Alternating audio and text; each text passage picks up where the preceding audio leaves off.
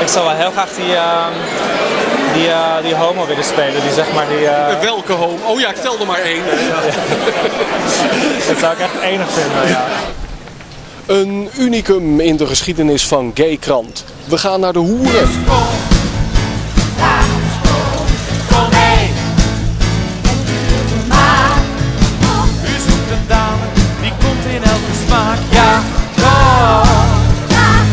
Me compleet verrassen. Ik zag enorme acrobatische acts zondag op de uitmarkt. Eh, dacht ik, nou, dat belooft wat. Ja. Ik, ik heb het van horen zeggen, ja, het is allemaal een beetje voor mijn tijd. Ehm, ik, ik ben heel benieuwd. Geen idee. Ja, ik ga compleet blanco naar binnen. Jap Jum is een heel nieuw, nieuw stuk. Wat nog niet eh, zichzelf bewezen heeft. Dus dat is natuurlijk heel, heel complex om daar eh, aan te werken. Ja. Dus dat was, was wel een enorme uitdaging. Ja. Er is heel wat buzz geweest Ja. rond, eh, rond Jap Jum. Mensen Ja. die eerste try-outs hebben gezien. Ja. Wat doe jij daarmee? Altijd. Lees jij dat? Negeer je dat? Langskomen. Nee, kijk, ik heb bewust probeer een beetje af te sluiten voor alles wat de mensen zeggen. Ik denk dat eh, je als company gewoon moet focussen op, op het stuk zelf. En hoe je het zo snel mogelijk en zo goed mogelijk kunt maken.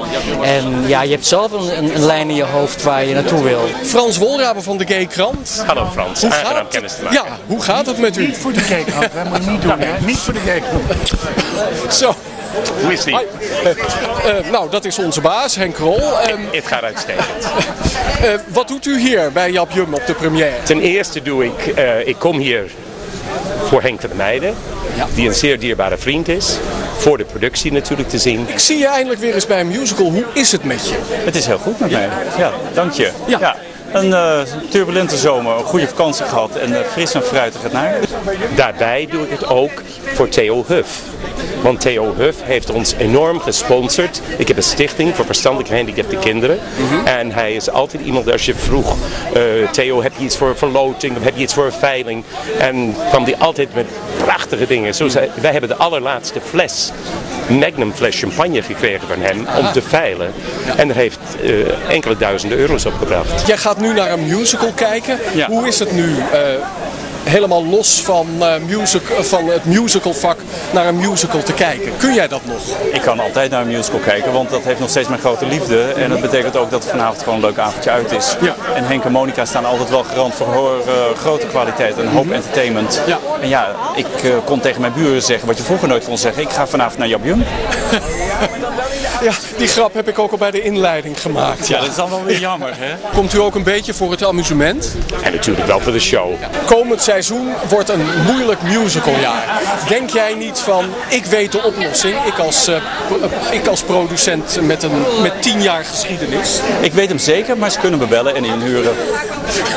Ik zie u nooit op premières van eh, musicals. Eh, eh, Nee, dus eh, houdt u ervan eigenlijk wel om naar, naar groots, de grootste spektakels te gaan? meestal ga ik de andere kant naar binnen.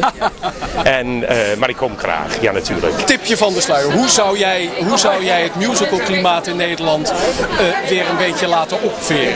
Ik denk dat het goede van vanavond is bij Jap Jum dat er een integratie is bijvoorbeeld tussen Circus Acts en musical, waardoor mensen weer verrast worden, vernieuwing zien. En ik denk dat dat het belangrijkste is wat we moeten doen, vernieuwing brengen. Ook bijvoorbeeld met een emblem wat nu geen subsidie op dit moment heeft. Dat is juist zo keihard nodig om te zorgen dat we in de toekomst ook weer met musical vooruit kunnen, want uiteindelijk is het een prachtige theatervorm. Maar van akte, dat gaan we meenemen. Heel Dankjewel. goed. Prettige avond ook. Veel, eh, veel plezier. Gisteren werd ik wakker en toen dacht ik, goh, ik zou eigenlijk naar Ghost gaan. Dat klopt. Had jij hetzelfde gevoel Nou, ik gisteren? moet je heel eerlijk bekennen, ik was dat een beetje vergeten, de datum. Nee, maar. Ja, echt. Ja, zo snel gaat het dan. Maar we werden eraan herinnerd via, eh, via Twitter en Facebook. En toen dacht ik, oh ja, dat is waar. Hoe ver was je op Ik was die klaar. 8e juni? Je was, Ik was echt klaar, helemaal ja. klaar met die twee. Waar ik erop zat te wachten was het moment dat zeg maar, de, de, de Engelse auteurs op basis van een terugvertaling in het Engels een commentaar precies zouden leveren. Ah, en dat, daar, dat, was is nog niet, dat is nog niet gebeurd. Nee. Daar wacht je nog. Daar wacht ik nog steeds op. Ja. Want het is officieel uitgesteld. Ja, het is precies. niet afgesteld. Precies. Ben je er overheen? Ben, eh, Ja. je nog iets van verdriet? Nee, ik ben er absoluut overheen. En ik geloof ook wel heel erg in dat als ergens een deur dicht gaat, gaat er altijd ergens anders weer een deur open. Uiteraard is het ontzettend jammer. En, en, en kom ik nog wat nou ja, collega's van een hele korte periode tegen. En dacht je, ah, het had zo leuk geweest. Ja. Het was een hele mooie, eh, goede groep. Dank u wel. Prettige avond. Dank je.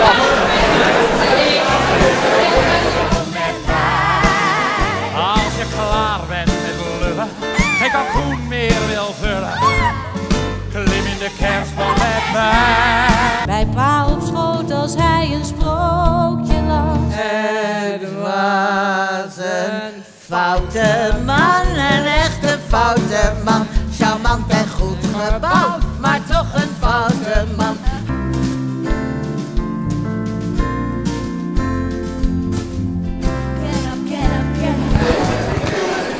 Het is nu pauze.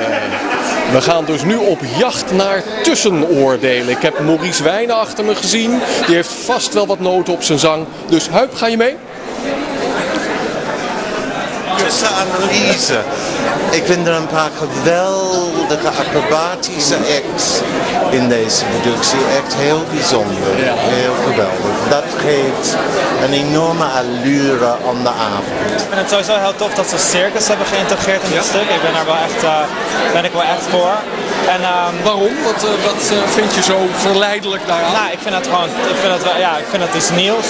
Het doet me wel een beetje denken aan Circus Stiletto sowieso, maar ik, ja, ik heb wel iets met circus sowieso. Dus ik vind het wel tof dat ze dat, eh, dat, ze, dat erbij zit. Ah, Ik vind het gewoon heel leuk dat Henk en Monica de afgelopen jaren proberen al met Stiletto, met Ellen ten Damme en met Hurricane, met Hans Klok, om een nieuwe vorm te vinden met allerlei elementen in één voorstelling. En ehm, dat vind ik gewoon heel origineel en gedurfd dat ze dat doen. En Nederlanders willen heel graag iets in een hokje duwen. Maar ik denk dat je dit gewoon moet zien als een, als een vrolijke show. Met, met hele mooie circus acts. En met, vind ik, een heel erg leuke Richard Groenendijk. Ik weet niet zo goed wat ik van moet zeggen. De zang is eh, wel leuk en die dansen. Ik vind acrobatiek er tussendoor vind ik wel echt heel mooi. Ja. Het is helemaal niet wat ik verwacht had eigenlijk. Ik had echt een musical verwacht. Maar het is echt een soort van circus slash musical. Ja, het is wel heel leuk. Ik vind vooral het danswerk zo spectaculair hoe, dat, eh, eh, hoe, ja, hoe ze de seks weergeven door middel van dans en acrobatiek. Ik vind het script goed, st- heel sterk script van Dick van Heuvel. Richard Groenendijk is voor mij nu al de ster van de show. Absoluut, als je ook eens niet van musical houdt. Het is ook niet een echte musical, het is een circus, het is variété. Ja. Echt knap gedaan. Ik ken jou niet als theaterganger. Hou jij van theater? Ehm, jawel, af en toe vind ik het wel, eh, wel heel leuk. Wicked vond ik ook wel echt heel erg... eh, Echt een musical, Wicked, ja. Ja, die vond ik wel heel erg mooi, maar ik hou niet van alles, zeg maar. maar ik vind, ik vind eh, Wat sla jij bewust over? Ehm, ik weet niet, ik denk eh, Aida en dat soort stukken vind ik denk iets te zwaar op ze. Oh, ja. ja. Ik hou meer gewoon van die leuke, vrolijke dingen. Vind je ze niet te los staan van de musical? nou, dan is dit de vraag. Weet je wel. Ik vind van wel. Het had meer geïntegreerd moeten zijn. Maar het is heel lastig om het fenomeen eh, acrobatiek te mengen met een spel van een musical. Dat is heel lastig. Dat is lastig. Het zou veel meer moeten gebeuren. Hoe zou jij dat als veteraan oplossen? Dat heeft met een, een script en regie te maken. Maar wat niet is, kan altijd komen. Erg in de laatste tijd is crossover. DJ's gaan ineens een musical staan. Zien wij straks een turnkoning in een musical? Eh, weet ik niet. Of dat, dat, ik kan niet echt zingen of zo, dus ik weet niet of dat dan zo slim is. Niet iedereen hier vanavond kan ook zingen. Ja, dat is waar. Dus ik had wel zoiets van, oké, misschien kan ik het ook. Als hun het kunnen, dan eh, blijkbaar kan iedereen de musical in. Nee hoor. Veel plezier nog de tweede acte. Dankjewel. Dag.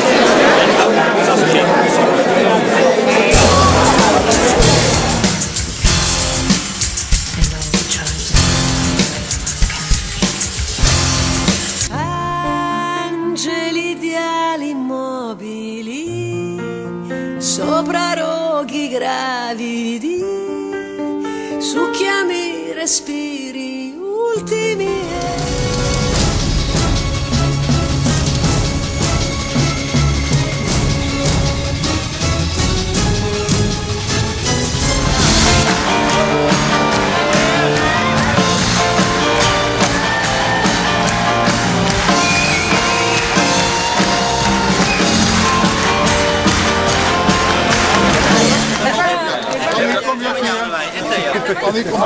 even hier. Theo, kom even hier.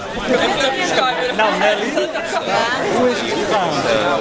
Dat heb ik het plezier gehad van de gays. bij mij. Ja, ja, precies. Want die, hebben, die hebben absoluut een hele belangrijke eh, eh, rol gespeeld in, eh, in, in het hele gebeuren. Ja, Ja, wat ja. vertelt u? Nou, dat, ja, dat zijn, het zijn natuurlijk vriendelijke mensen. Het zijn, het zijn makkelijke mensen om, eh, om, om, om iets te kunnen zeggen. Nou, die mei- hoe ze de, de mensen benaderen, dat is toch anders als, als die stijve baarman Ja. en zo. Het, En- dit was toneel, elke dag toneel.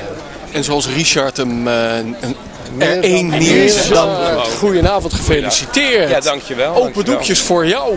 Ja, dat was ik wel heel, ja, dat was wel heel vlijend. Een open doekje van Carré, dat heb ik altijd wel gewild. Ja, ja, Ja. precies. Vroeger stapte je, verliet je even je cabarethonk om in een musical te staan. Ja. Nu zie ik die grenzen Ja, vervagen. dus de grenzen vervagen. Nu hebben ze eigenlijk eh, het cabaret een musical ingetrokken, inderdaad. Ja.